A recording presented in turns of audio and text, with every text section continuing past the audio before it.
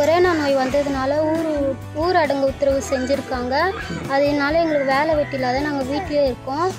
இது லைலா காலேஜ்லேருந்து வந்து வேர்ல்டு விஷன்லேருந்து வந்து எங்களுக்கு உதவி செய்கிறாங்க அரிசி மளிகை சாமான் எல்லாத்தையும் கொடுத்து எங்களுக்கு உதவி செஞ்சுருக்காங்க.